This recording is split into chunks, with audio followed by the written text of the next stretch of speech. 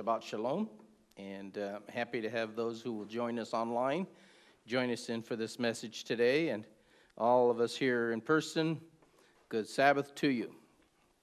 Today I'd like to talk about, I don't know, the fruits of the Spirit a little bit, the fruits of the Spirit, and also other things, you know, it's really all the things we're going to talk about are the fruits of the Spirit.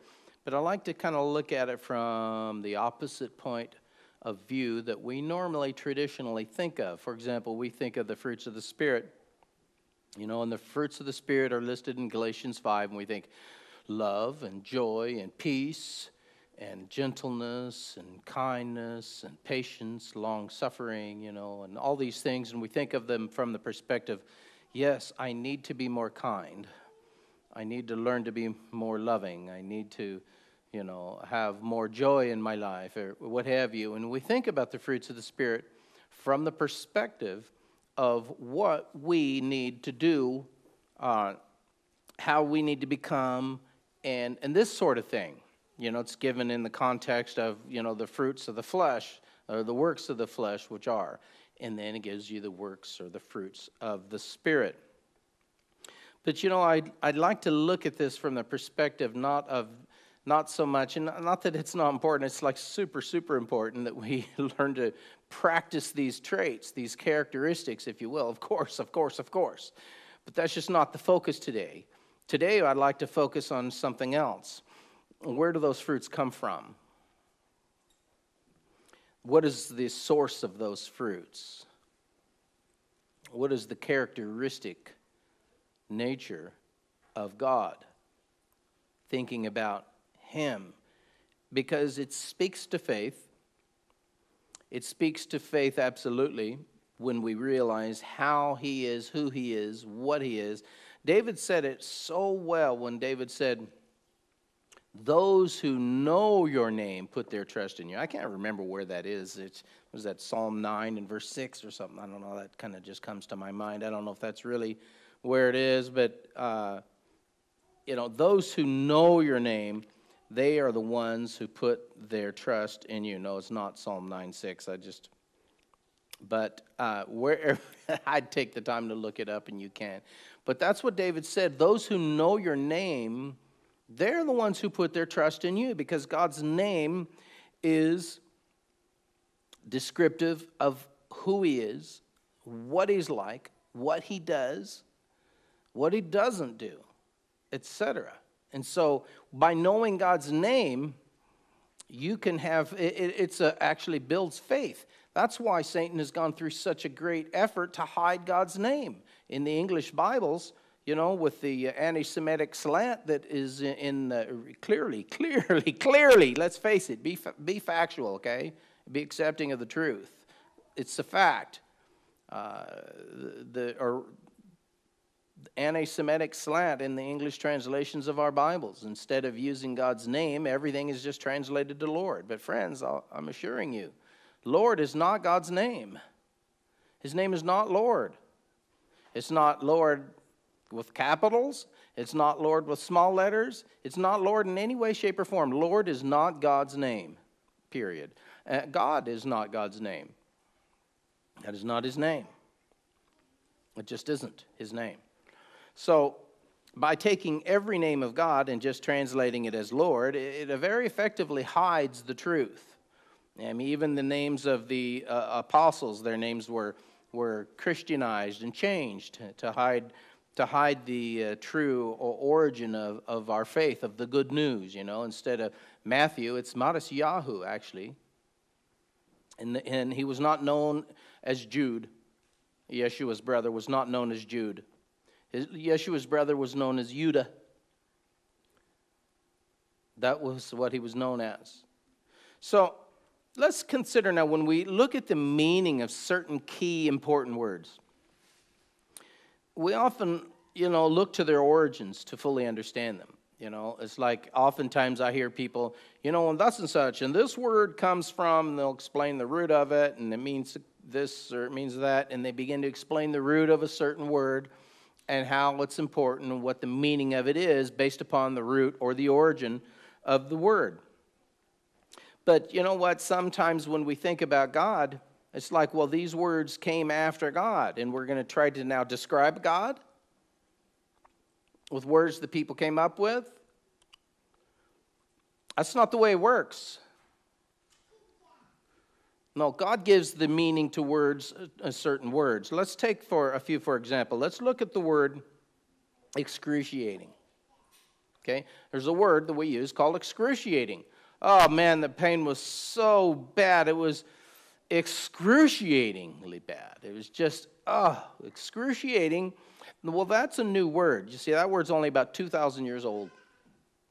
Excruciating, there was a new word. It has its origin in the crucifixion. The literal meaning of excruciating is out of the cross. That's what it means, out of the cross. You see, it was so bad, the pain that Yeshua suffered was so bad that they had to come up with a new word for it. And the word is excruciating.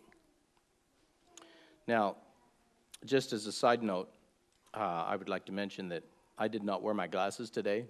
So somebody just is trying to give me a nice note because they're such nice people, but I really can't read it. So 910. Oh, so Psalms 910, that's a, those, those who know your name put their trust in you. Psalms 910, and I said 9, but I was in the wrong verse. Thank you for that. So there it is, Psalms 910. Those who know your name put their trust in you. So anyway, excruciating, that's what it means, out of the cross. The crucifixion was so horrific, a new word had to be created to explain it because, oh, it was so painful, wasn't good enough. So that's the pain the Messiah willingly suffered on our behalf, and so there was a new word created to explain it. So, what is the origin of that word? It wasn't that, oh man, when I was a kid, I watched this movie about, uh, interestingly enough, it was played by uh, Michael Douglas, I think, who was a Jew, is a Jew. Uh, at any rate, uh, and, and it was he was some Roman uh, gladiator. I can't remember the name of the movie, sorry. At any rate, at the end of the movie, he was crucified. Excruciating didn't come because some Roman guy was crucified or some guy who wasn't Roman was crucified by the Romans, or it didn't come because somebody was crucified and then here comes along Yeshua, and so they're saying, well, well, that's what happened to him. Mm, that's not it. No, it's the other way. Yeshua was the one that they made the word up for because they described his death, which was on a whole different level, worse than what crucifixion was by itself alone. It was excruciating. And so, out of the cross. And so, that's kind of a, uh, an interesting thing. We just look at the word. The word originated from that event, from Yeshua. Now let's look at a few other words that originate with God. And so if you want to know the true meaning of some words, think about this. Anytime you see in the Bible the word God is, God is this or God is that, do you think about does that word describe God? Kind of, yeah, kind of, but really, no. In a real sense, it's more like God describes that word. God is the one that that word came from. That word is, he is the, the originator. Uh, he's the one that the meaning came from. And when God says something and he calls it truth, we can say whatever we want this is truth or that's truth, but it's what God says is truth that is true. It's what God says is righteous that is righteous. We can have a description of something, but God is the one who actually gives it a meaning. Let's consider the word truth, for example. A truth, uh, really, we can find the root for that back in the book of Jeremiah. The word truth is a very interesting word. In Hebrew, the word truth is emet. Emet, like E M E T, you know, emet. Let's go to Jeremiah chapter 10 and verse 10. As a matter of fact, uh, let's just read verse 10 for a second. Uh, it says, Yahweh is true, the Lord is true. The YH, you know, Yod Het Vav Het is true, verse 10. So it doesn't say he's telling the truth, which he is telling the truth, but I'm just saying that's not what it says. It says he is truth. And there's a difference. Everything about him is true. He speaks the truth, he acts the truth, he lives the truth. The truth never departs from him, and the word truth derives its meaning from him, not the other way around. So let's back up and read a little bit from the beginning of Jeremiah's chapter here, verse 10. Hear the word which Adonai speaks to you, O house of Israel. Thus says Adonai Do not learn the way of the Gentiles.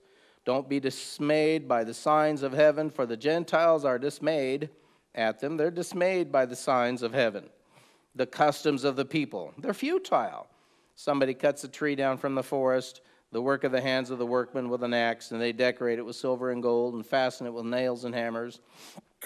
And oftentimes people will say, well, this is in reference to a Christmas tree, or an Xmas tree, I should better call it.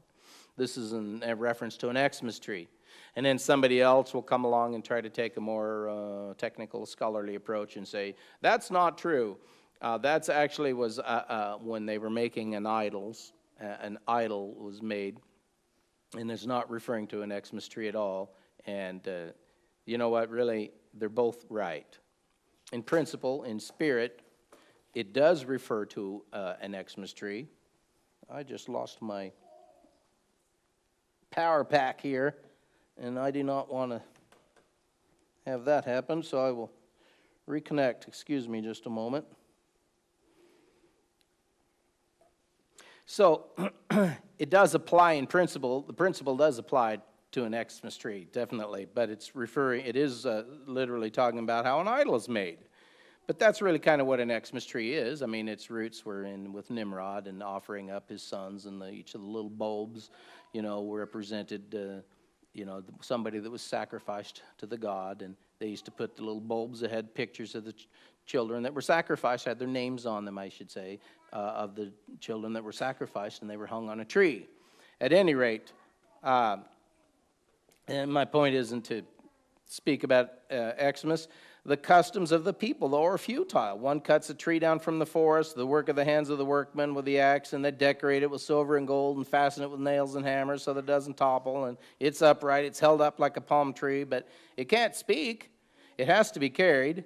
They, they cannot go by themselves, so don't be afraid of them. They can't do evil and they can't do any good either. This is talking about an idol, you know. An idol, you might get an image of a man or some creature or whatever, and then they would worship it. But it can't do anything, it can't speak, it can't even carry itself. He said, don't worry about it. Insomuch as, and it goes on, verse 6, he says, Insomuch as there is none like you, O Adonai, for you are great and your name is might, uh, and your, your uh, name is great in might. Who would not fear you, O King of the nations? For this is your rightful due. For among all the wise men of the nations and all in all their kingdoms there is none like you. But they are altogether dull-hearted and foolish.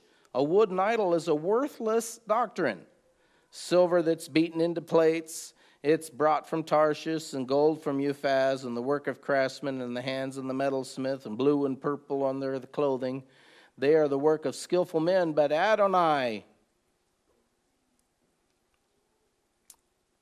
is Emet. Adonai is the Emet. See, all those things are a lie. Those things are not rooted in truth. But Adonai, everything about him is rooted in truth. It is truth. Adonai is Emet. That's actually one of the names of God. If you understand the Hebrew and the way it's written, Adonai is Emet. Emet is one of his names. Truth is one of God's names. That's why David said, Those who know your name put their trust in you, because you can always trust what he says. Adonai is truth. He is the truth God, the God of truth. He's the God of truth. He's the living God and the everlasting King. And his wrath, the earth, at his wrath, the earth will tremble, and the nations will not be able to abide his indignation. Thus you shall say to them, The gods that have not made the heavens, the gods that have not made the earth will perish from the earth and from under the heavens. Has he not made the earth by his power, and established the world by his wisdom, and stretched out the heavens at his discretion? And when he utters his voice, there is a multitude of waters in the heavens, and he causes the vapors to ascend from the earth, and he makes lightning for the rain. He brings the wind out of his treasuries. But people have become dull hearted without knowledge. Every metal smith is put to shame by their graven image, for the molten image is falsehood. There isn't breath in it, it's a futile work, and the time of their punishment they will perish. But the portion of Jacob, the portion of Jacob is not like them, it's different. For he is the maker of all things, and Israel is the tribe of his inheritance. Adonai Tsevaot, the Lord of hosts, is uh, yeah, Yah of hosts is his name. The God of all. He is the most high. Truth doesn't derive excuse me god doesn't you know isn't like truth was one of the words we can come up with to kind of describe it truth originates with god that's how the word truth got its meaning without god there would be no truth because only God is absolutely true, that has never been false, has never represented, is not a liar, never has lied, ever in all eternity. He's never lied. He's never been uh, unfaithful in anything. He is the one that that word derives its meaning from. In John chapter 3 and verse 33, coming forward into the Brit Hadashah, John chapter 3, the New Testament, and verse 33, it says, The Father loves the Son. Oh, excuse me, I was 35. It says, He who has received his testimony has certified that God is true. He is true. It's not just that he's telling the truth, everything about him is true. He's straight up truthful in every way, always. Now, when Yeshua spoke of Hasatan, he spoke of him originating something. We'll just go over a couple of pages and notice in John chapter 8. John chapter 8 and verse 42.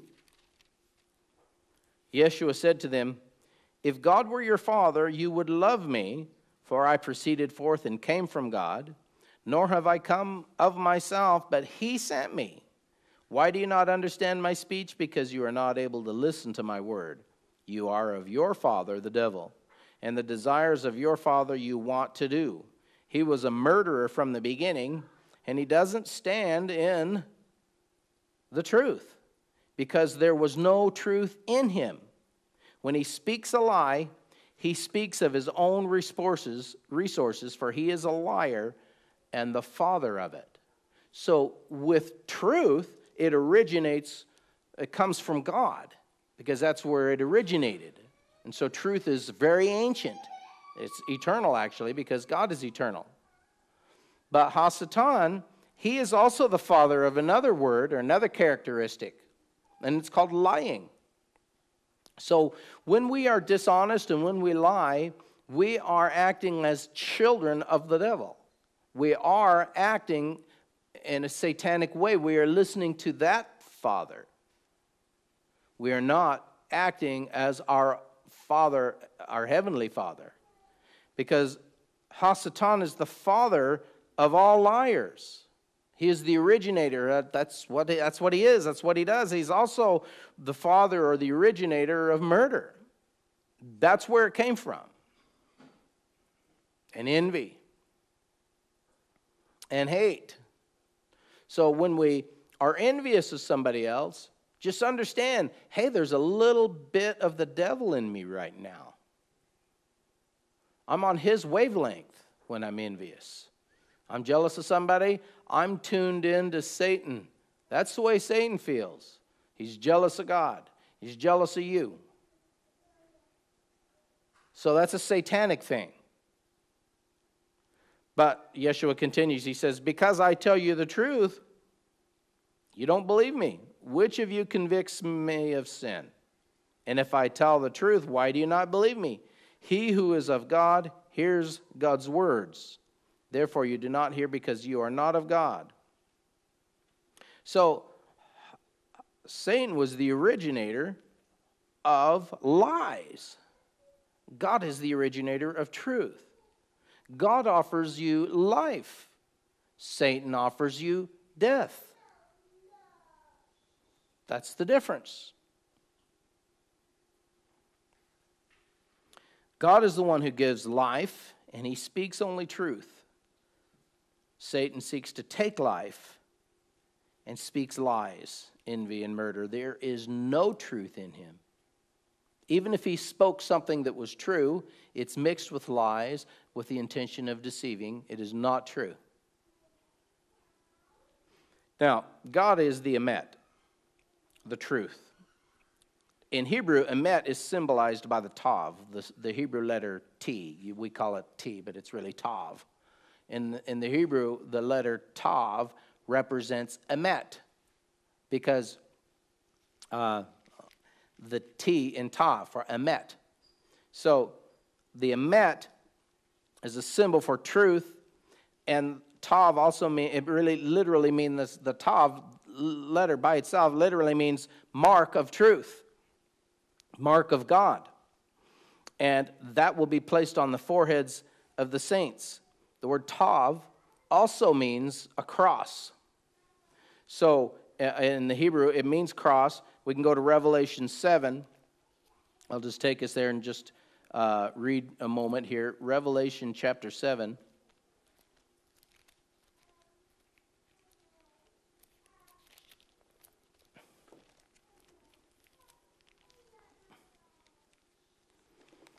Okay, Revelation 7, and I'll just begin right in verse 1. It says, After these things I saw four angels standing at the four corners of the earth, holding the four winds of the earth, that the wind should not blow on the earth, or on, any, on the sea, or on any tree. And I saw another angel ascending from the east, having the seal of the living God. And he cried with a loud voice to the four angels to whom it was granted to harm the earth and the sea, saying, Do not harm the earth, the sea, or the trees until we have sealed the servants of our God on their foreheads. So, right on the foreheads, there was a seal of God. Now, many people have discussed what this seal represents, uh, what it is, you know, and uh, I believe it's the Tav. Now, some people say, well, maybe it's the cross. Well, it could be a cross, you know, literally a cross, you know, the cross of Christ. Like the Apostle Paul said, I determined to know nothing among them except for Yeshua and Him crucified. Uh, so, the cross of Christ, and that's what you believe, that's fine. I personally believe it will be the Tav, which represents the cross, and which was the gift of God in absolute truth. But also, we can go to Ezekiel chapter 9 and we can see a mark put on the foreheads of God's people in Ezekiel chapter 9.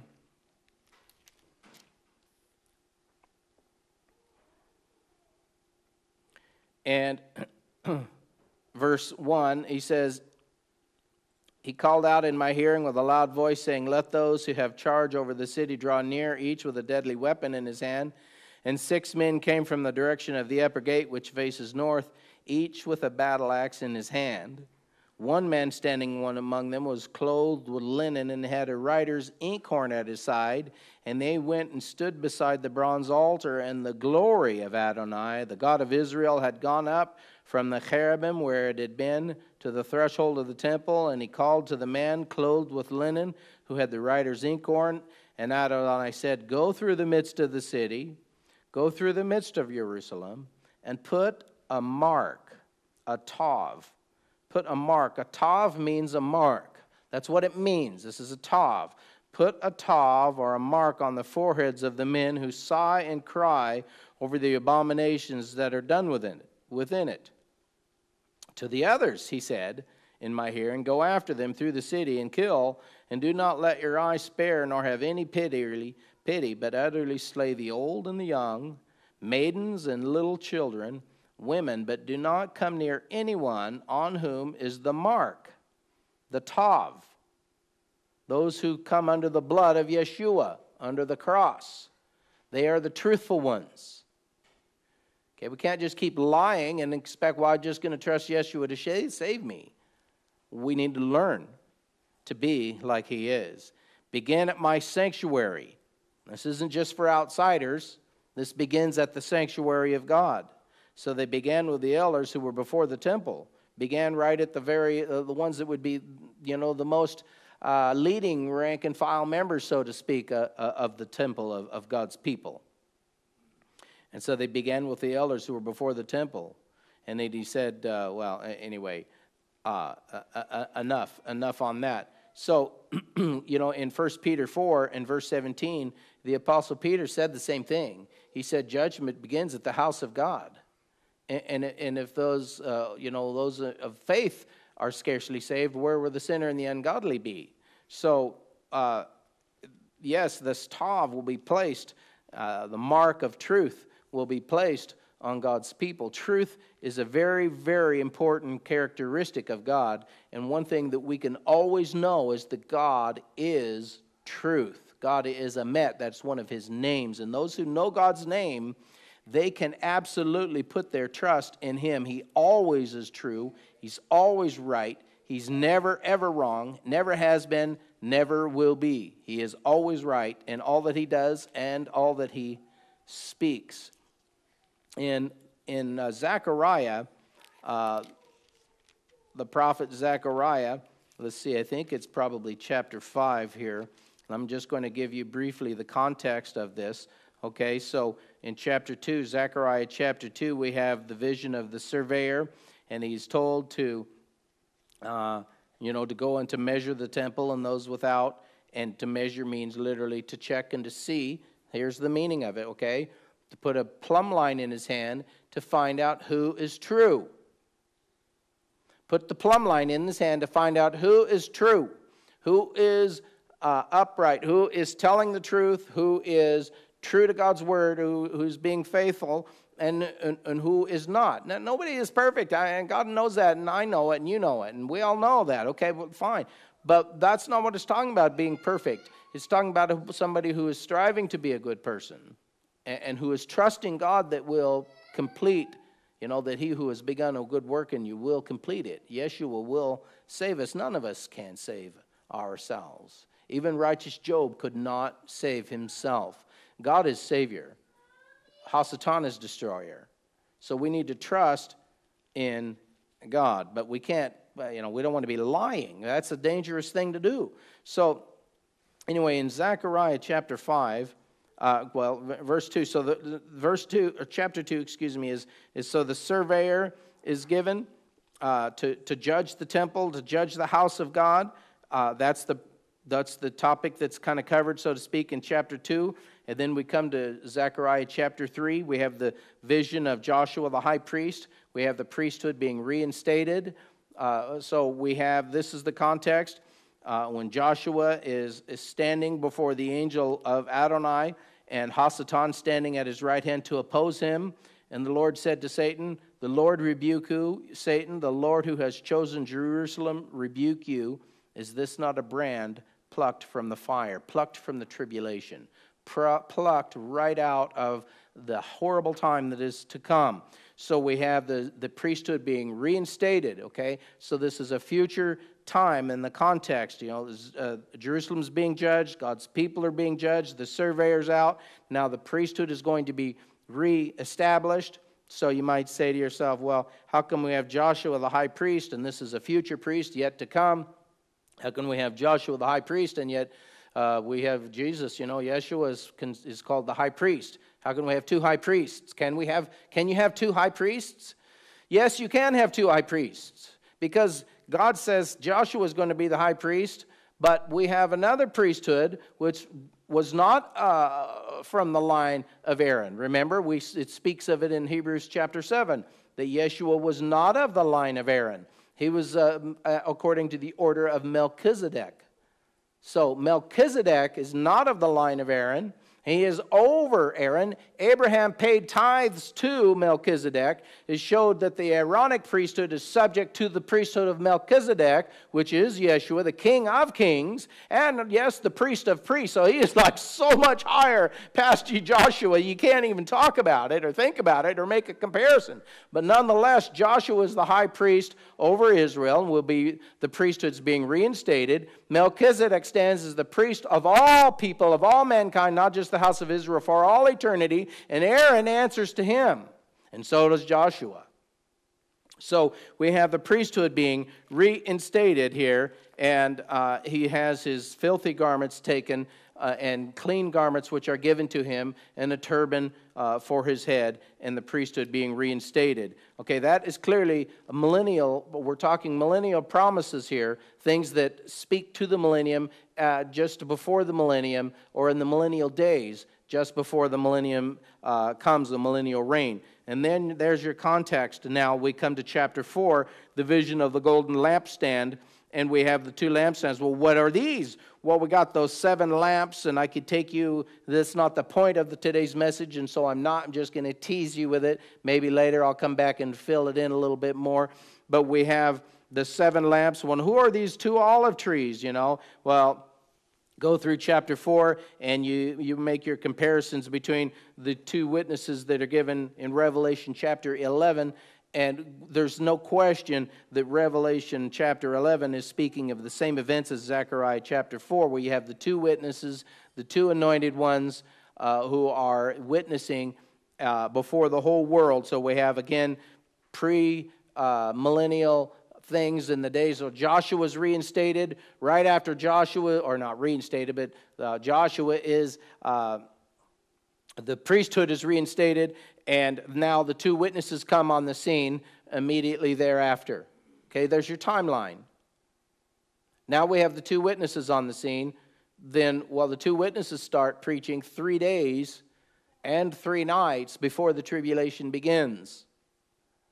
Exactly three days before, not a day more, not a day less. Three days before the tribulation begins. Why do I know this? Well, I know it, and I can show you scriptural proof of it because it says that the two witnesses will preach for three and a half years and the tribulation lasts for three and, three and a half years. But we read in the book of Revelation that the two witnesses are killed and their dead bodies lie in the street for three days. And then a voice from heaven speaks and says, Come up here. And that's three days before the seventh trumpet is blown. And when the seventh trumpet is blown, it is finished and Yeshua returns. So the tribulation continues until he returns, but the two witnesses die three days before that. Therefore, since their ministry is the same length of time, that means they must start three days before it. I hope you followed that. I don't have time to go back again. I'll do that in another time. So now we have then the two witnesses, and God says, in the mouth of two or three witnesses, everything is established. And actually, God is giving us the two witnesses, but He's going to give us a third witness, if you will, in Joshua the priest. And that's being established. So we come within that context, we get to Zechariah chapter 5. Now, in Zechariah chapter 5, I turned and I raised my eyes, and I saw there a flying scroll. And he said to me, What do you see? And I answered, I see a flying scroll, and its length is 20 cubits, and its width is 10 cubits. And he said to me, This is the curse that goes out over the face of the whole earth.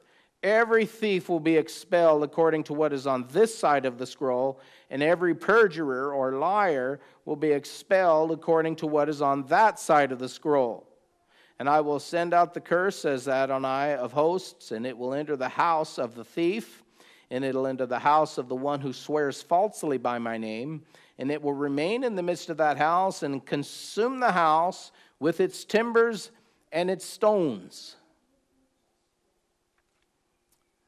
Hasatan is the author of lying. It is not a small thing. Yeshua is the author of truth and we can trust Him to save us, even from our own weak, lying tongues. He is Savior of mankind. Like He said to the disciples when they said, Hey, should we call fire down? He said, I did not come to destroy, I came to save. There's one destroyer, and there's one Savior.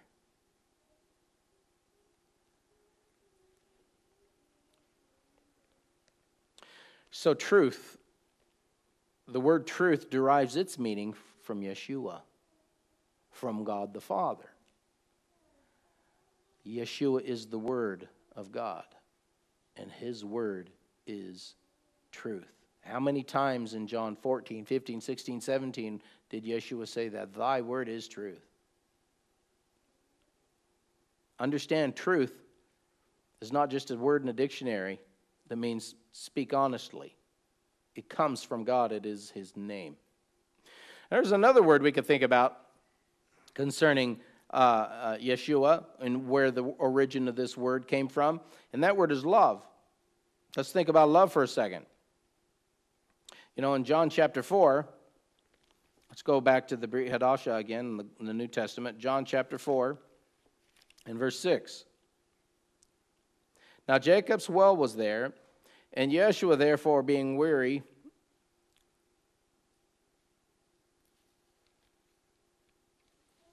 Hold on a second. Let me make sure I'm in the right place.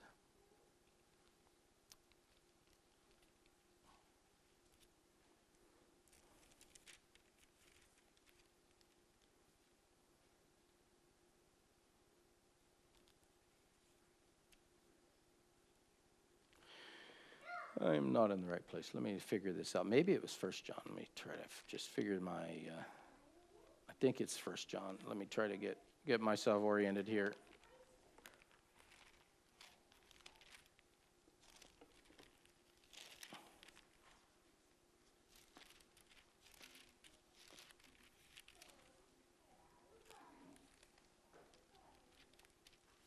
First John, not John, sorry. It's First John. I'll make a note correct that.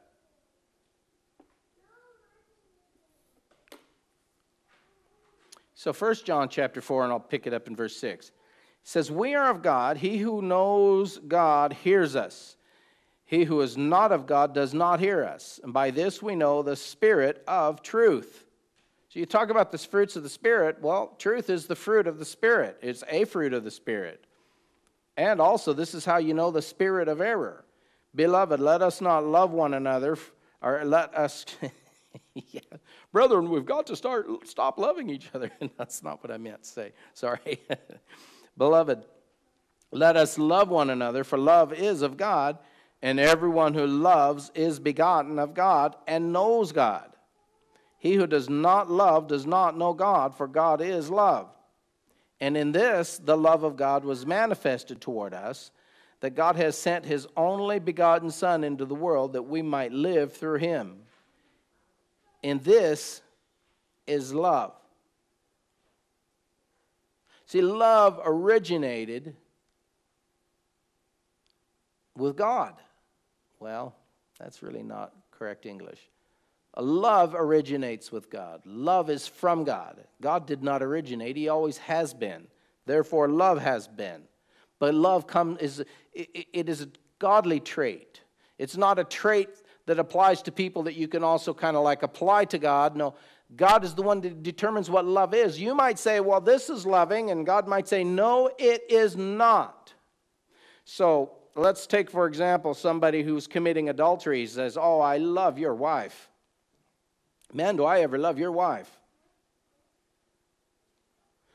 God says, No, you do not. That is not love. God is the one who gives love meaning.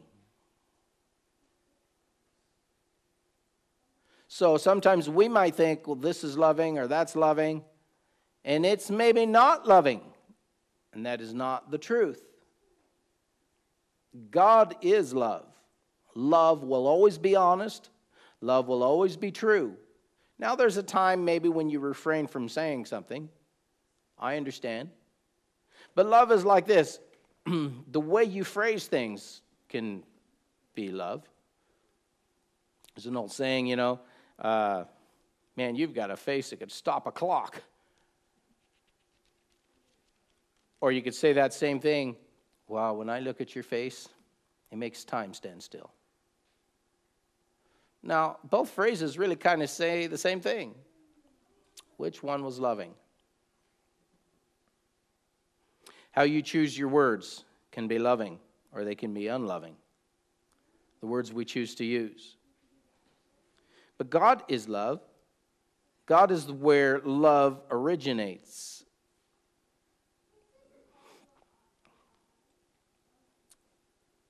In this is love. Verse 10 Not that we loved God, but that He loved us, and that He sent His Son to be the propitiation for our sins. That is love. Beloved, if God so loved us, we also ought to love one another because it's being like God. God abides in us, and his love has been perfected in us. And by this we know that we abide in him, and he abides in us, because he has given us of his Spirit, and we have seen and testify that the Father has sent the Son as a Savior of the world. Whoever confesses that Yeshua is the Son of God, God abides in him, and he abides in God. And we have known and believed the love that God has for us. God is love. Doesn't say God is loving, which means, you know, he has some traits of love. No, God is love. It's one of God's names. Sometimes when I'm praying, I just refer to him as the lovely one, the beautiful, loving one. And he who abides in love abides in God, and God in him. Love has been perfected among us in this, that we may have boldness in the day of judgment, because as he is, so are we in this world. And so this speaks to judgment, this speaks to faith, this speaks to encouragement. Because when we come to God, we realize that He is completely, absolutely love. Love does not keep account of sin. Love is not trying to uh, hurt or destroy.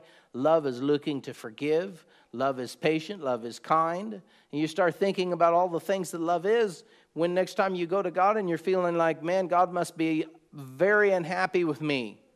God is love. Maybe we're not being truthful with ourselves. God is love.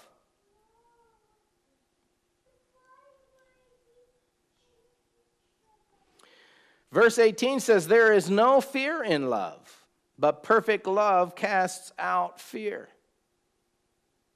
You see, faith is kind of an interesting thing.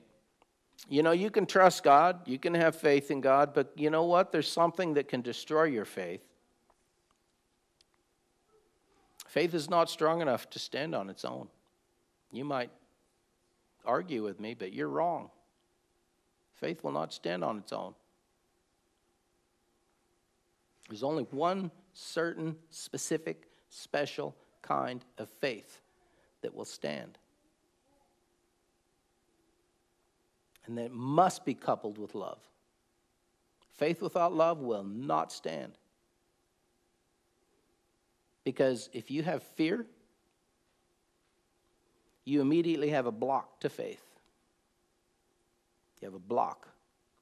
And doubt can enter, which is from the devil, and it can destroy. But when it's coupled with perfect love, not just love, but a certain kind of love, the love of Yeshua, the perfect love. Perfect love casts out fear. You have no fear, you can be faithful and bold. If you do if you don't lack if you lack fear, you can be faithful and bold because love, perfect love will cast out fear. In other words, you know that Yeshua loves you. You know his characteristic of how loving he is, therefore you have nothing to fear. And it's very encouraging, it's very empowering. But if you take your eyes off Yeshua and start to look at yourself, you start to see your problems, your weaknesses, and that's your focus, then doubt and fear enter, and your faith can be destroyed. It must be coupled with that perfect love of Yeshua. Yes, that you love Yeshua, that you love Him, of course, that's super important, but that's not the love I'm talking about. I'm talking about understanding His love for you. That's what will cast out fear His love for you and for me. Perfect love casts out fear. With perfect love, you can have perfect faith.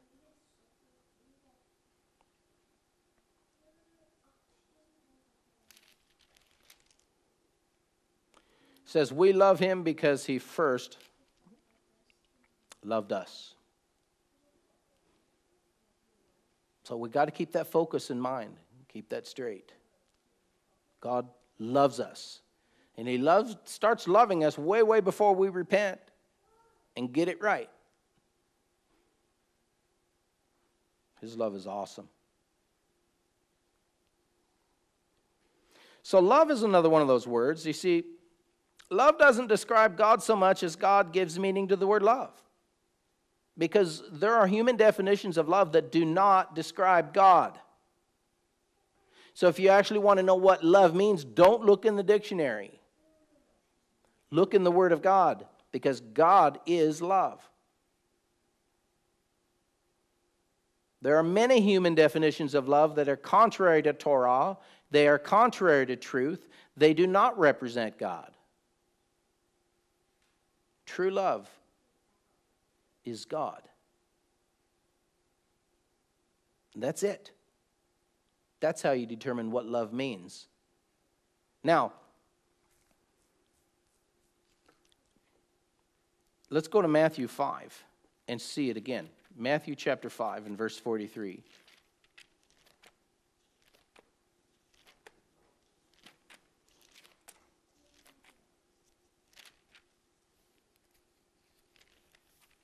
Matthew 5, and I'll begin in verse 43. It says, You have heard that it was said, You shall love your neighbor and hate your enemy. Now, I just want to clarify it. You've heard that it was said. Yeah, well, who said it? Is he's not quoting from the Old Testament. People say, Yeah, that's that Old Testament law. Come on, man. Please. When people say things like that, uh, it's like open your mouth, and insert foot. You, have, you know, realize that you have no idea what you're talking about. It does not say that in the Old Testament anywhere. He's not saying you've heard it said in the Old Testament, you've heard it said in Tanakh or Torah. He doesn't say that. People say it. This is what people say. People make stuff up. People say stuff. They say what they're told and what they're taught and all kinds of things. People say, you know, it's a, a, human tradition to love your neighbor. Yeah, I love the guys that are with me on my side or my next door neighbor and my family, and my wife, my kids, my this, my that, my, my, my, my. And those are the ones I love, but my enemies, I hate them. That's people. That's what people do. That's, you heard that said. That's the way to live. You know, that's not what it says in the Bible. What does it say in the Bible? If you see your enemy's ox, or his ass fall down under a burden, even though he's your enemy who hates you, it says, you shall surely help him up with it again. Over and over, I could show you statute after statute after statute in, in the Torah that says that you shall love your enemies. Do good to those. As a matter of fact, that phrase, to love enemies, when you do good unto them, it will heap coals of fire on their head The people think, oh, yeah, that came out of the words of Jesus in, the, in the, what, Matthew or something, didn't it? No. No. Actually, no. Shlomo or Solomon said that after God gave him wisdom. So it's not like the New Testament's all the lovey good stuff and the Old Testament's. Uh, that is just a, a crock, that is a, a lie that did not come from the Emet. It came from the father of lies. So people will say, yeah, love your enemy, hate your enemy. But Yeshua said, but I say to you, love your enemies. Yeah, go back to Exodus 23, read verses 4 and 5, and you'll see what I'm talking about. He's always taught us to love our enemies. Bless those who curse you, do good to those who hate you. Pray for those who spitefully use you and persecute you. Why? So that you may be sons of your Father in heaven because he makes the sun rise on the evil and on the good, and he sends rain on the just and on the unjust. If you love those who love you only, then what reward do you have? Nothing. Don't even tax collectors do that? Yeah.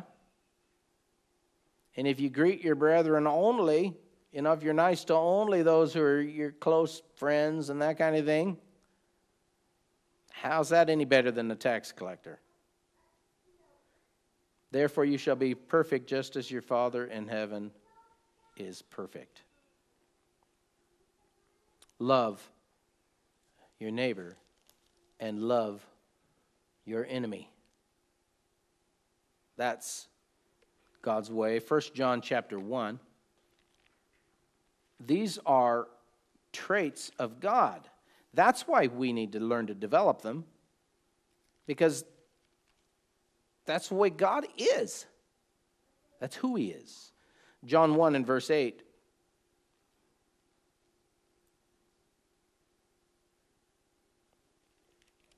Oh, there again, I think I've got uh, First John's what I really mean to say, and I just, for some reason, I didn't get that written in my notes. So I will make that correction as well. Okay, First John chapter 1 and verse 8. If we say that we have no sin, we deceive ourselves, and the truth, emet, is not in us. If we confess our sins, he is faithful and he is just to forgive us of our sins and to cleanse us from all unrighteousness. If we say that we have not sinned, we make him a liar, and his word then is not in us. My little children, these things I write to you that you may not sin. And if anyone sins, we have an advocate with the Father, Yeshua HaMashiach, the righteous. And he himself is the propitiation for our sins, and not ours only, but also for the whole world. You know, God so loved the world. Now, by this we know that we know him. This is how you know if you know God, if we keep his commandments. That's how you know if you know God. There are many people say, Oh, I know God, but I know that law's been done away with. Well, you know what? Your words are in direct uh, contrast or opposition to the words of Yeshua and his apostle John who says, If you say you know him and you don't keep the commandments, actually, your father is, well, the, God, the father of lies, right? That's a lie. That's not true. That's not the emet. If we keep it, if we, that's how we know that we know him, if we keep his commandments. He who says, Oh, I know him and doesn't keep his commandments, it's a lie. He's a liar. And the truth is not in him. But whoever keeps his word, truly the love of God is perfected in him. And this, by this, we know that we are in him.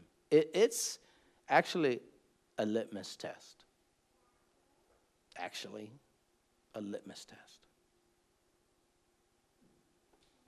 So, love is a very powerful thing that drives, you know, it, it, it comes from God.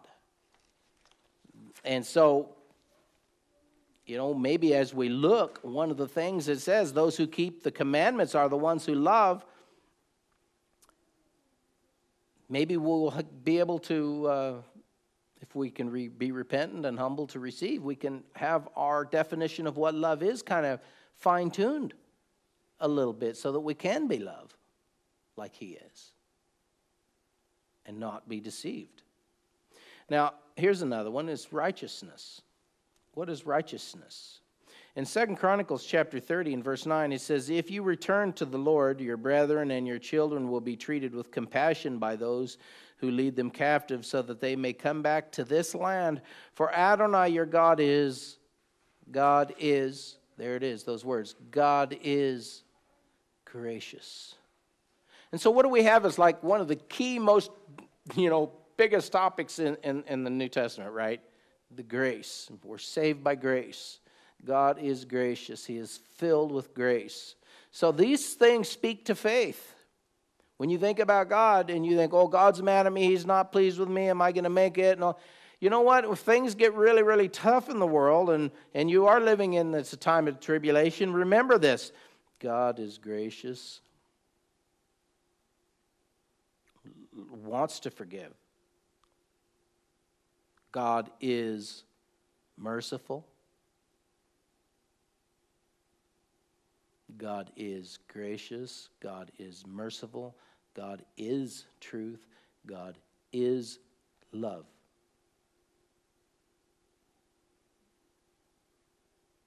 If you do that and you trust that, then he will not turn from his face from you if you return to him. If you repent, your sins will be forgiven, not eventually, but right then. And you can stand white before the one who is love, who is truth, who is righteous, who is gracious, who is merciful. And so grace, grace, that's a, a word that's got its origin in Yeshua. God is gracious. That's where it comes from. God is merciful. The first one to ever forgive and to ever have mercy on anyone was God. That's where it originated from. It had no meaning until then. Until sin came into the world, there was never a time for the word mercy. There was no word named mercy until God demonstrated it. And he's been demonstrating it because he is gracious. Matthew 6 33. So, what is righteousness? Well, righteousness is grace, it's mercy, and it's faithfulness. Uh, righteousness is keeping the commandments. The Bible actually says that. Righteousness is keeping the commandments. That's literally a definition. You know, like people say, well, what's the definition of, of sin? The Bible gives us a sin. 1 John 6, 4, I think, uh, or 4, 6. Anyway, sin is the transgression of Torah. Sin is the transgression of the law. That's the meaning of it. Well, righteousness, all thy commandments are righteousness. And if you keep these statutes, it says in Torah, if you keep these statutes, it will be righteousness unto you. It's given as a definition. Of course, faith is also given as a definition of righteousness. Abraham was faithful and it was account, trusted what God said. It was accounted to him for righteousness. So you can't say, well, that's what righteousness means, and it doesn't mean keeping the commandments because that's also got the same exact definition attached to it. So righteousness then is a series of things, all of which are true to be upright. So that you don't have to fear the surveyor because you come under the blood of the merciful one. You got the tav, you got the cross on your forehead. Matthew 6 33.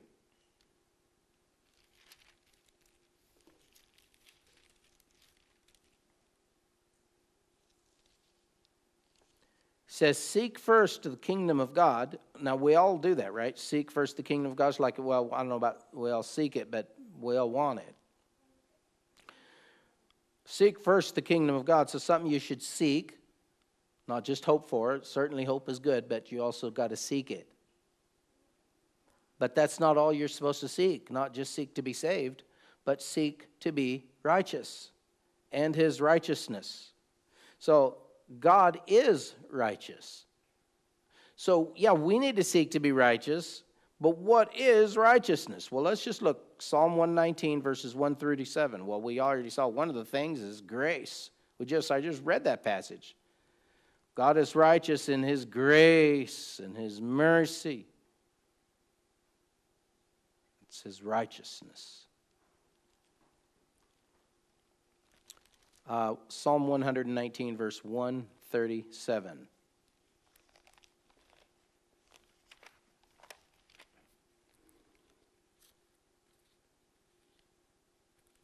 One hundred Psalm one hundred nineteen verses one verse one hundred and thirty seven.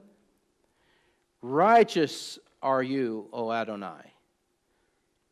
Upright are your judgments, and your testimonies which you have commanded are righteous and they are very faithful. So these things, they are a description of what is righteousness and what is faithfulness. Again, in Deuteronomy 6, is in verses 24 and 25, you know, keeping the statutes will be considered righteousness for you. There are many, many passages about this. So let's just think about this for a minute. Now, God is righteous. God is righteous. So, all these commandments about loving your enemies, those are righteous. God loves everyone. God is loving, He's gracious, He's kind. God is righteous, He is faithful. God is good. Remember that uh, passage, anytime you think God is good, well, what is, what's a description of good? God is a description of good. God is good. They asked him, Well, hey, you know, why do you call me good? Yeshua said. There's no one good except God. God is good. Good gets its meaning from God. We can trust that. We can absolutely trust that. Daniel chapter 9, verse 14. Daniel 9 14 says, Therefore, Adonai has kept the disaster in mind, and he brought it upon us, for the Lord our God is righteous in all the works which he does, though we have not obeyed his voice. He is righteous in everything he does. Now, here's something I'd like to kind of close with then. Let's think about Galatians chapter 5. Let's go to the fruits of the Spirit and read them and, and not just focus so much on, yes, I need to be more compassionate, and yes, I need to be more kind.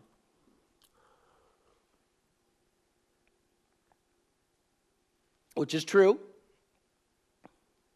and which is important. But let's understand really, these are the fruits of the Spirit. And who is Spirit, right? God is Spirit. God is a spirit being, and these things come from Him. Is what His Spirit gives you, is because it's what He is. He wants you to be like Father, like Son, like Him, like Yeshua. Galatians chapter 5, it's uh, the works of the flesh are evident, verse 19. You know, adultery, that's a work of the flesh, and fornication, and uncleanness, and license, trying to give yourself a license to do what you want, even though it's contrary to God's word. Idolatry, uh, sorcery, hatred, contentions, arguing, you know, and jealousy. You know, jealousy and, and, and is really the spirit of murder. I mean, you think about envy and jealousy, you think about Cain and Abel, right? I mean, Cain was jealous of his brother, and so he killed him. Jealousy is not a small thing, it's ugly and is not from God. Outbursts of wrath. Some people actually have an outburst of wrath and they're proud of it. Well, that's how I get my way. They weren't going to give me my money back at that store, but boy, when I gave them a piece of my mind, then they changed it. I was able to use the work of the flesh to get my will. And I have won a lot of arguments by just being a really mean, loudmouth pighead to people. And they're proud of it. Is God proud of it? Outbursts of wrath, selfish ambitions. What's in it for me? Dissensions, arguing, envy, well, what do you think envy and murder are next door to each other? Look, there they are envy and murder, verse 21. Because envy is the spirit of murder.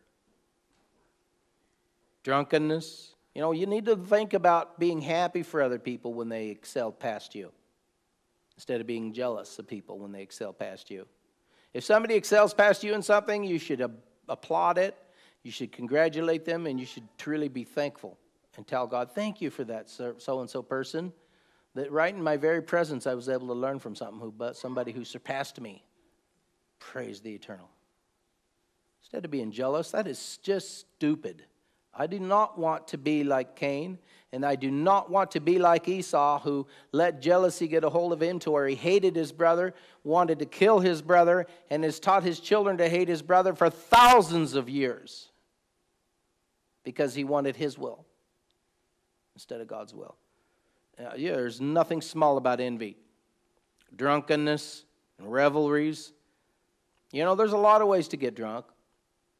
You can get drunk by drinking too much wine or too much alcohol. Of course, that's drunkenness. But, you know, you can get uh, drunk with drugs too. It just means to intoxicate yourself. You know, you can be a meth head and you're just a drunkard. You can be heroin addict and you're just a drunkard. I, I, just a drunkard. Yeah, you're not just a drunkard. That's not the right way to put it. You are a drunkard. Okay, not just, but a drunkard. You know, if, if you're into heroin, you're a drunkard. Do not be deceived, Paul said. Drunkards will not inherit the kingdom of God. And there are a lot of ways to get drunk. You know, some people want to smoke pot. Fine, smoke some pot. But if you're going to spend all of your time just being high continuously, you're a drunkard. It's okay to have a drink. Just don't be a drunkard. There's a difference between having a drink and being a drunkard. And there's a difference between somebody who uses drugs in the right and an appropriate way and somebody who's just continuously has to be high all the time. That's what being a drunkard is.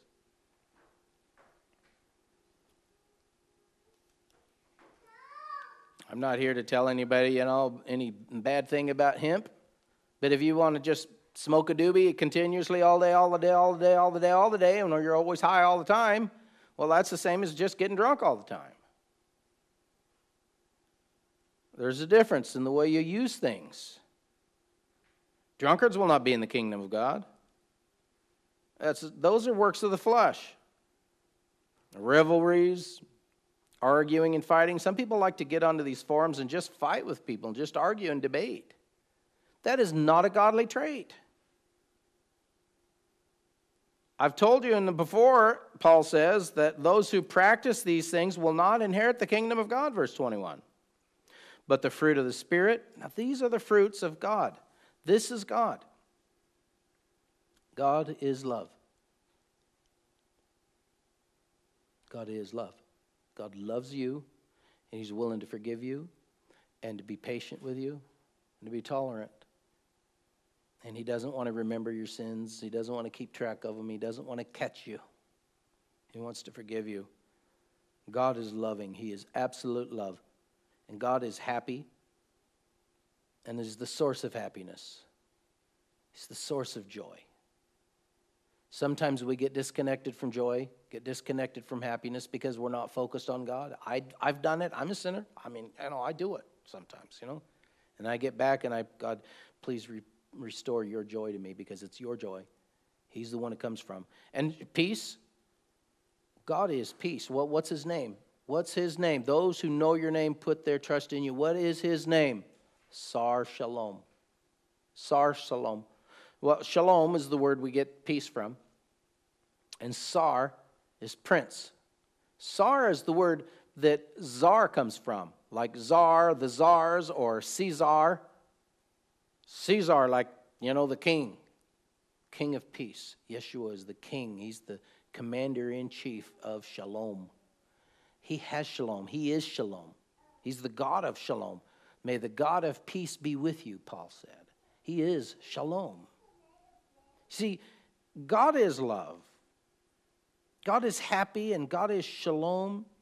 And God is long suffering, and in long suffering, for some people, it's one of those words that they think, well, can't you just say patient instead? I understand that better. And okay, I understand patient. Yes, God is patient. But here's another thing why long suffering is a better word.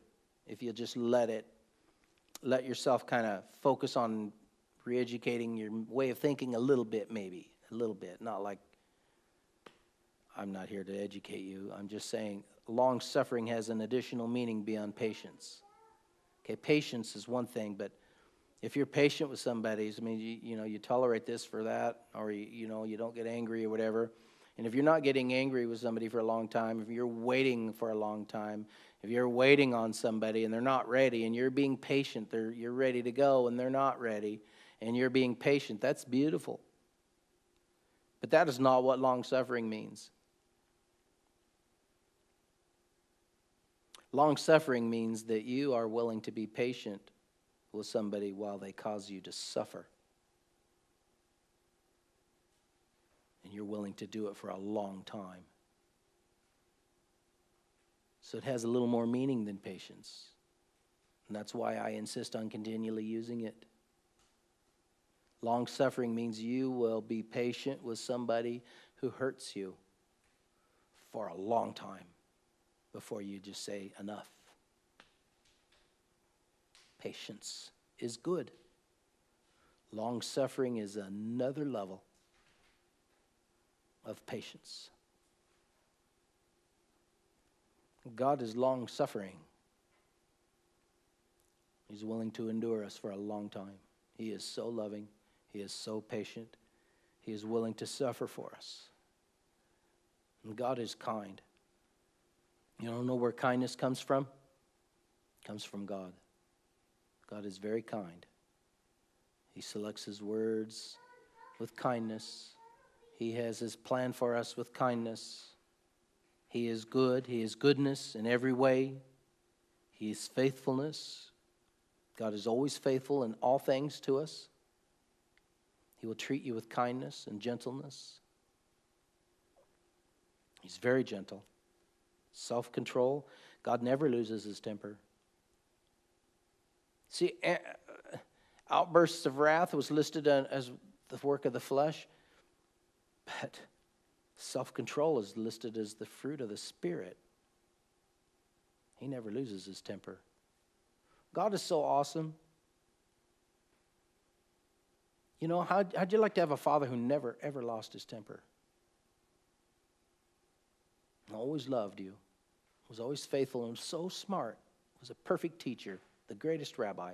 He always spoke the truth to you. You could always believe anything he said because it was always true. How'd you like to have that for your dad? You do. You do.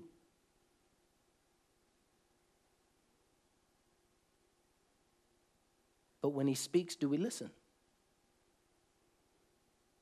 It's called Torah, the Word of God. Torah means the Word of God. Devar means the Word of God in Hebrew. Logos means the Word of God. Torah means the Word of God. People want to do away with the Word of God. I don't. I uphold it and love it and cherish it. Self control. And, if, and those who are Messiahs have crucified the flesh with its passions and desires. If we live in the Spirit, let us also walk in the Spirit. Because the Spirit is where these things come from. They are traits of our God. And they speak to faith. Perfect love casts out fear. It's not that you love Him so much that you're not afraid anymore. No. It's that you recognize that He loves you so much that you have no need to fear anything.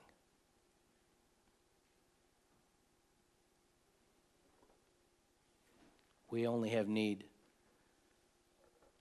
of repentance and trusting through that perfect love in Yeshua, who was given to us to redeem us, to buy us back from sin.